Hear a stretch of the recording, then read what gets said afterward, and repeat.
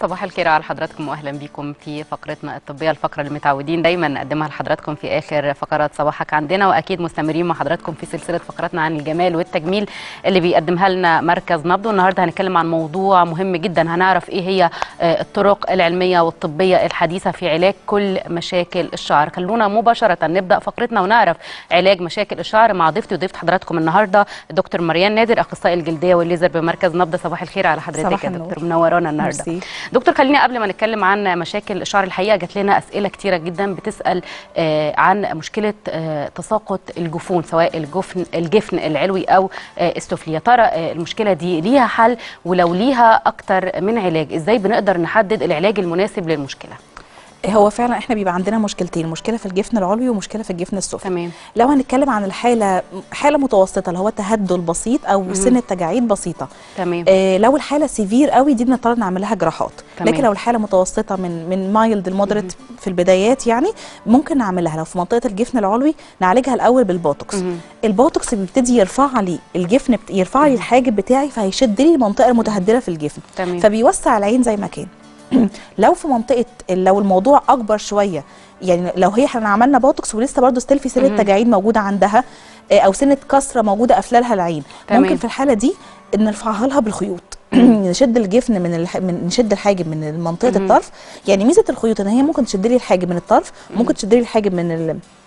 من المنطقة الأمامية ممكن ترسم الحاجب يعني أنا ممكن تمام. أشكل الحاجب زي ما أنا عايزة أرفع total الحاجب أو أرفع طرفه بس أو أرفع أعمله برسمة دي منطقة واحدة عندها منطقة ال tear trough أو منطقة تحت العين الجفن السفلي أها. تحس إن هو في سنة كرمشة أو كسرة موجودة عندها. صحيح. دي حاجة اسمها tear trough نتيجة فقد الكولاجين في المكان. ده. فدي بحقنة filler واحدة بس نصها في كل جفن ودي برضو حالة برضو عندها منطقة ال tear trough بيعكس لي إن عندها هالات سوداء أها. هالات ومنطقة كرمشة تحت العين دي بيبقى علاجها عن طريق ال filler. بنحقن نص السرنجة هنا ونص السرنجة في الجفن في تحت الجفن الثاني بتبتدي تديني امتلاء في ساعتها تمام وبتعالج الموضوع المشكلة اللي عندنا.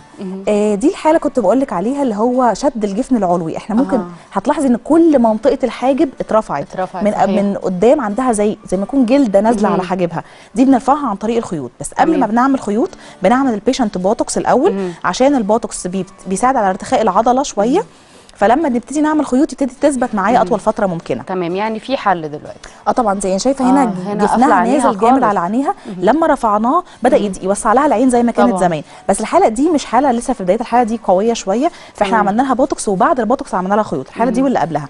عشان نرفع الرفعة دي بنبتدي ندخل من منطقة من عند منبت الشعر ندخل بالخيط وناخد الرفعة اللي إحنا عايزينها نعدي على ونر- ونطلع من الناحية الثانية بتكون تحت تأثير بنج موضعي مخدر للجلد فما بتكونش حاسة. بنحقن كمان بنج بنج آه، local في مكان اللي إحنا بنحقن فيه عشان حتى دخله الإبرة الصغيرة ما تحسش بيها. تمام. آه، بتلاقي نتيجة في ساعتها من الخيوط رفعت الحاجة بتبان في ساعتها. طبعا إحنا بنكون عاملين over correction أو بنكون شادين أقصى حاجة تمام. عشان هو مع الوقت في خلال 3 4 أيام هتبتدي الدنيا تريح معاها زي توصل للنتيجه اللي هي عايزاها. فاحنا بنكون شادين عشان لما تريح توصل للنتيجه اللي هي عايزاها. ويبان شكلها طبيعي جدا بيبان شكلها طبيعي جدا فورية. طبعا وبتحل يعني بتغني عن حالات كتيرة جدا بتبقى محتاجة لجراحة ممكن آه. تغني عن الموضوع ده. تمام. في حاله إن إحنا طبعا لو عالجنا المشكلة في البداية يعني عالجنا أول ما نلاقي في. تهدل بسيط حتى لو بسيط نبدأ نحل المشكلة بالظبط. طب دكتور برضو آه، في بنات كتيرة قوي بتبقى محتاجة آه، يعني تحدد أو ترسم شكل الخدود ويكون الخدود فيها نضارة بس بتخاف شوية انه ممكن الموضوع يبان إنه مش طبيعي إزاي نقدر نحل المشكلة دي ونرسم شكل خدودنا بس الموضوع يبان طبيعي هو إحنا تملي عندنا في مركز نبض بنحب نوري ال patient. يعني ب... الأول أنا هفهمها إحنا لو عملنا سرنجة هتبقى شكلك بال- بالحالة الفلانية لو عملنا سرنجتين آه. هيبقى شكلك بالحاله الفلانية. لو عملنا ثلاث سرنجات يعني في حالات severe قوي. بتحتاج ثلاث واربع سرنجات على تمام. حسب كمية الفقد اللي هي فقدتها وكمية. التعويض اللي عايزة تعوضها تمام لو هنتكلم عن واحدة بس عايزة تدي مثلا رسمة بسيطة أيوه وشها رادد حاجة بسيطة دي ممكن تاخد سرنجة هتبقى نصها في الخد ده ونصها في الخد ده. هتدور لها عظمه الخد شوية وتدور لها عظمه الخد. syringe واحدة من ال filler مش هتدي حاجة امتلاء over بالعكس ده هتدي نتيجة كويسة. يعني تملي بقول لل patient محدش هيلاحظ إن انت عاملة حاجة في خدودك إلا ه- اللي هيلاحظ هيلاحظ إن إيه شكلك محلو شوية. وشك رادد شوية إيه منطقة ال- الهالات اللي عندك اتحسنت خدك اترسم سنة بسيطة. لو إحنا عايزين الموضوع أكبر شوية هناخد سرنجة مهم. تمام الصورة اللي معانا دي انت مش هتلاحظي اختلاف كبير قوي فيها بس هي شكلها زي ما. بقول لك هي شكلها اختلف أها. دي سرنجة واحدة اللي بتعمله تمام. لكن لو الحاله عايزة تبرز عظمة الخد أكتر بتعملها contouring بنبقى محتاجين نص syringe هنا ونص syringe هنا لو عايز تعمل الخدود الأمامية بنبقى محتاجين نص ونص على حسب ال severity بتاعت الحالة؟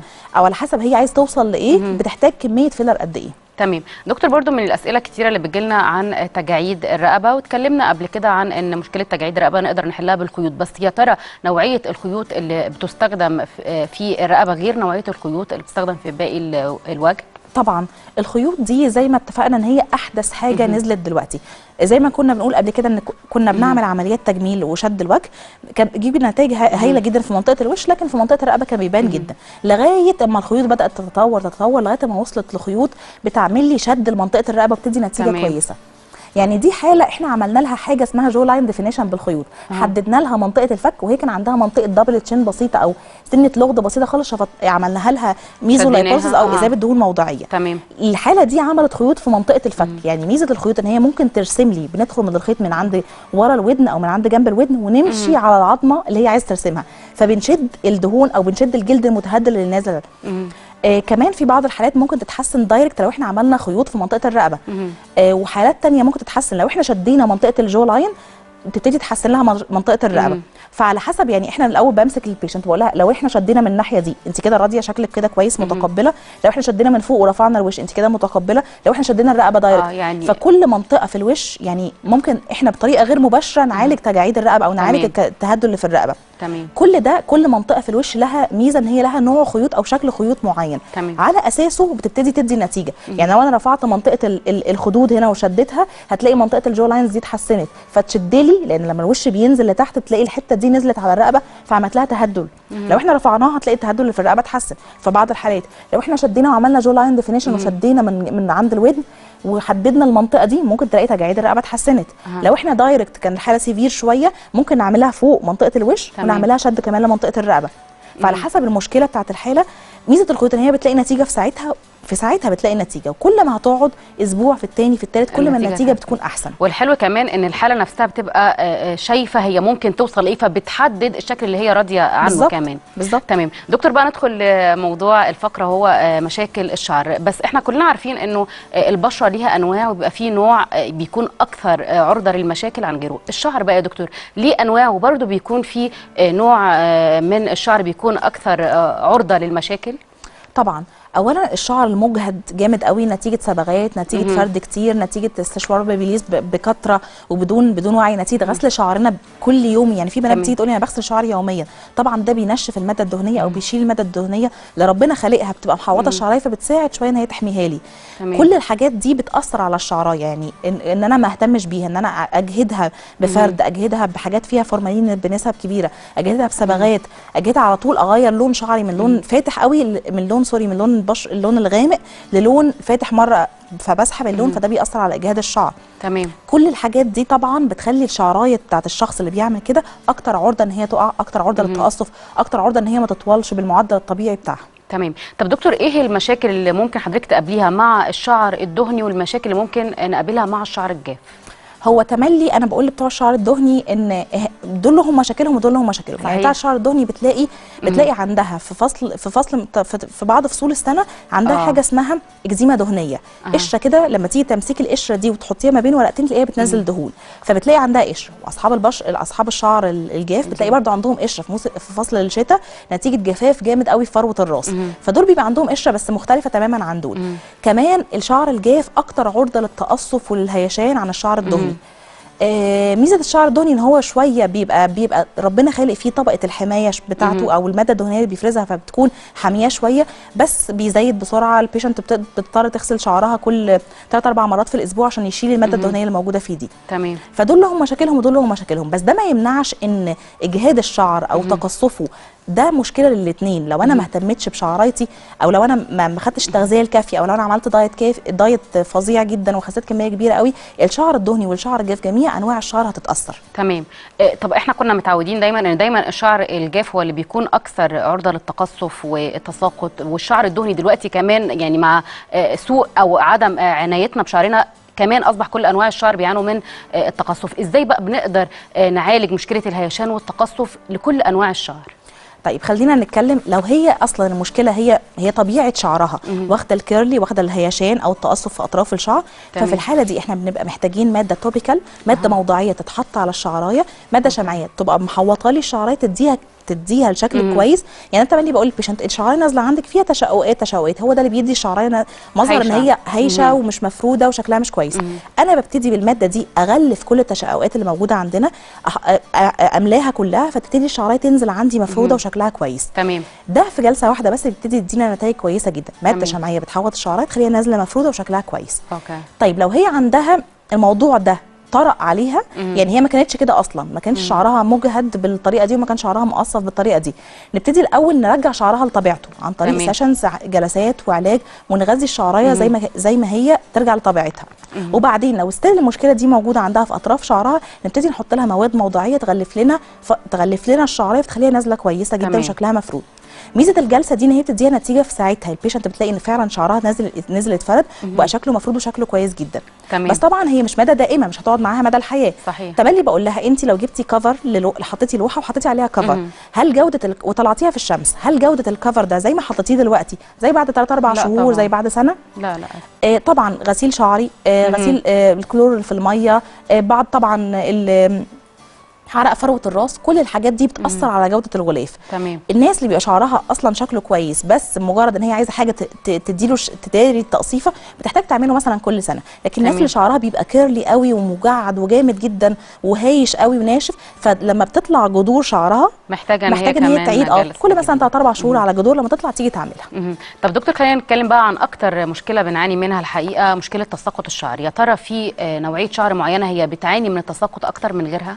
طبعا آه الشعر الشعر يعني إحنا هنقول الأول في معدل طبيعي لتساقط الشعر مهم. يعني في patient بتيجي تقوم ماسكة لي كيسة كده وتيجي تقول يا دكتور شعري ده كله وقع مني مهم. دي حالة مرضية اسمها telogen effluvium أو الشعر اللي كان هيقع وقع مر كله مرة واحدة, مرة واحدة. بكثرة مم. تمام لكن في معدل طبيعي تساقط الشعر يعني طبيعي لما أنا أجي اسرح شعري وهو ناشف ألاقي كام شعرايه بيقعوا منه مني من 50 ل 100 شعرايه اللي هي طبيعي الشعرايه اللي هتقع عشان شعرايه جديدة تطلع مكانها تمام. ده ال cycle الطبيعيه بتاعت الشعر لكن اللي مش طبيعي إن أنا أجي أشد شعري ألاقي خصل يعني دي دي دوره دورة الشعريه اللي هي مرحلة ال anagen وال catagen وال telogen. مرحلة ال anagen اللي هي المرحلة الأولانية خالص اللي هي الشعراية بتبتدي تنمو فيها.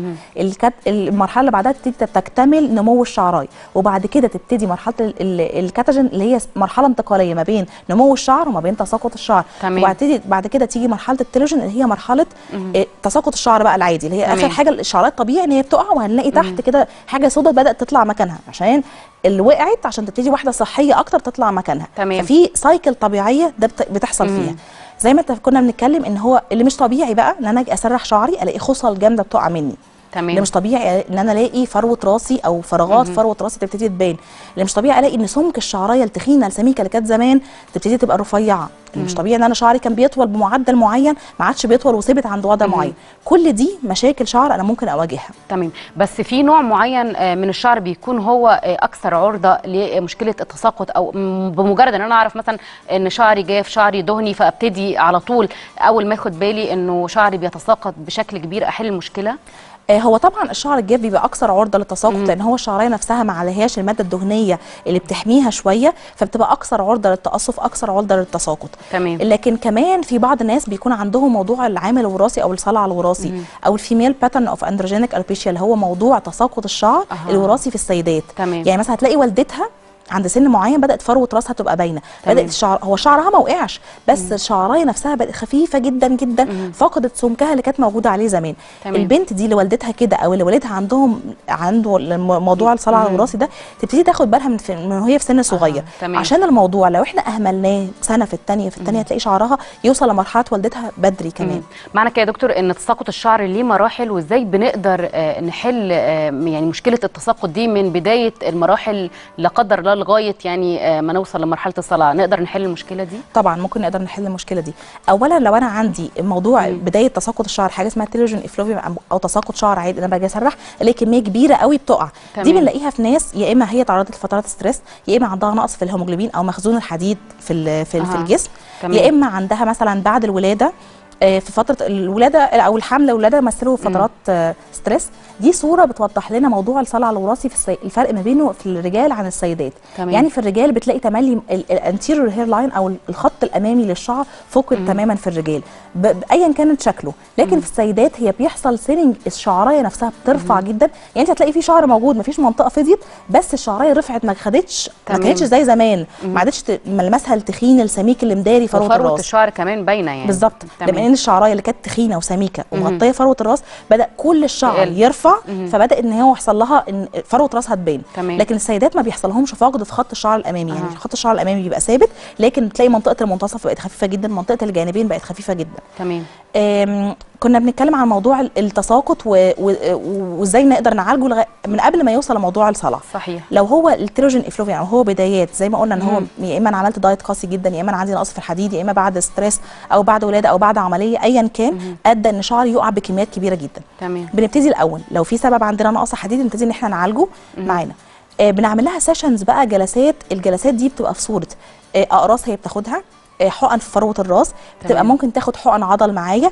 كل ده أنا هدفي إن أنا أقوي الشعرايه أغذيها بكل ال vitamins. اللي هي فقدتها عشان نمنع التساقط الموجود معانا. تمام. ممكن نحقن بلازما PRP ممكن نحقن vitamins ممكن نحقن في حالات الصلع الوراثي أو في الحموات اسمها dutasteride ممكن نحقن حاجة اسمها growth factors أو عوامل النمو ده في حالات ال- التساقط الشعر العادي. لكن لو في بداية الصلع الوراثي مثلا ولقينا بعض في الرجال أو في السيدات على فكرة بيعانوا موضوع الصلع الوراثي ده. حقيقي. هنلاقي الرجال بدأ شعرهم يخف ويزحف يعني هو يقول لي أنا من كام شهر ما كانش شعري ما كانش جنبين شعري فاضيين قوي بالطريقة دي. وفي السيدات تيجي تقول لي أنا فروة رأسي بدأت تبان أنا بدأت المشط يوجعني وأنا بسرح ال comment ده بنسمعه كتير. مم. في الحالات دي كل ما هنلحق بدري كل ما هيكون أفضل لأن بيجي لي سيدات بيكونوا أهملوا يعني هقول لك على حاجة إحنا لو جبنا آه. آه دي موضوع اللي هو منطقة الجانبين بس دي في حالة هي أصلا طبيعة شعرها يا إما من traction alopecia إن أنا شديت شعري من وهي صغيرة آه تمام. كانت بتشد شعرها جامد قوي فبدأ إن المنطقة اللي في الجنبين دي. تفضى خالص مم. تفضى وهي سابتها وأهملتها مم. فبدأ ما عادش فيه بصيلات شعر ففي حالات البنات دول وبنلاقيها كمان إن منطقة آه، القوره عندها بقت عريضة جدا. فالبنات دول بنبتدي نعالجهم عن طريق زراعة شعر. زراعة شعر في المنطقة اللي فضيت يعني بتلاقي. قورتها عرضت جامد قوي أو منطقة الجانبين فضيت بنبتدي ناخد بصيلات شعر من المنطقة اللي ورا. المنطقة اللي ورا ما بتفضاش لأن إحنا عندنا مليون بصيله شعر اللي طالع منهم بس ألف. إحنا بناخد ونبتدي نعوض المنطقة اللي حصل فيها فقد. آه بتلاقي نتيجة حلوة جدا. الشعر بيرجع ينمو بمعدله الطبيعي. آه، ده لو إحنا اتكلمنا عن موضوع موضوع زراعة الشعر. طيب الصلع الوراثي بقى. تمام. الصلع الوراثي زي ما كنا اتفقنا ان هو بيحصل في السيدات وال- والرجال. نلحقه إزاي؟ نلحقه اللي هو أنا أول ما أبتدي ألاقي إن شعري بدأ يزحف أبتدي أو والدي أو والدتي بالمنظر ده. أبتدي ألحق بدري جدا. مم. لأن بيجي لي سيدات بيكونوا أهملوا في نفسهم ثلاث وأربع وخمس سنين. الفكرة لو أنا يعني مثلا جبت عضو من أعضاء جسمي وفضلت راكناه ما بحركهوش وسبت ربطاه برباط وما بحركوش خالص ولا ب... ولا بعمل أي حاجة. يحصل ضمور في المنطقة دي. صحيح طبعا. فبصيلات الشعر برضو لو أنا أهملتها لا بستخدم فيتامينز وفروة راسي باينة ولا بستخدم أي أي حاجة ترش على فروة الراس ولا ولا أي حاجة. وسايباه يتدهور يتدهور يتدهور سنة في الثانية في الثانية بيحصل ضمور عند مرحلة معينة هقول لها لا إحنا ما نقدرش نرجعه زي ما كان زمان. تمام. فكل ما نلاقي الموضوع ونلحقه بدري هنلاقي نتيجة كويسة جدا. صحيح. دكتور مريان يعني إحنا استفدنا جدا بوجودك معانا وساعدنا طبعا بوجودك وأكيد الأسبوع الجاي بيكون لينا لقاء تاني مع حضرتك. بشكرك شكرا جزيلا. آه، دكتور مريان نادر أخصائي الجلدية والليزر بمركز نبض. بشكرك مرة ثانية يا. دكتور. مشاهدينا الكرام فقرتنا الطبية انتهت وانتهت معها أكيد فقرات صباحك عندنا. بنتمنى لحضراتكم يوم سعيد وموفق لكن قبل الختام هنسيب حضراتكم مع تقرير من مركز نبض مع دكتور رباب الرفاعي أخصائي الجلدية والليزر بمركز نبض. هنسيب حضراتكم مع التقرير ونشوفكم على خير بكرة إن شاء الله.